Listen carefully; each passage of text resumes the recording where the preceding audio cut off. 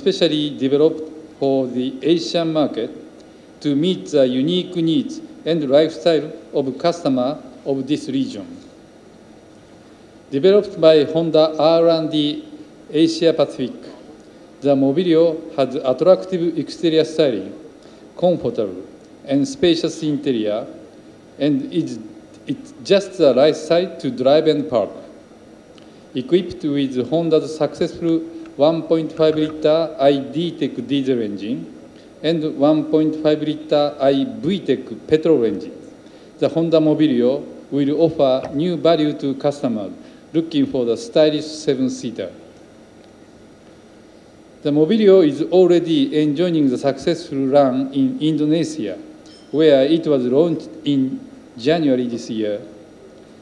More than 46,000 Mobilio has been sold in Indonesia since its launch, capturing 23% market share in the segment in a short span of time.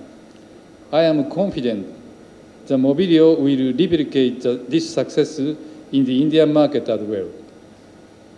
Friends, Honda Motor has set a sales target of 6 million units per annum by March 2017.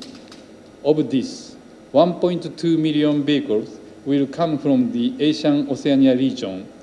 HCIL, which is part of this region, will contribute 25% to the region's total sales by March 2017. With two established models, Amaze and City, and the Mobilio in the lineup, HCIL is sure to achieve its long-term business goal. As Honda grows in this market, I look forward to your support. Thank you, and Dhanyabad.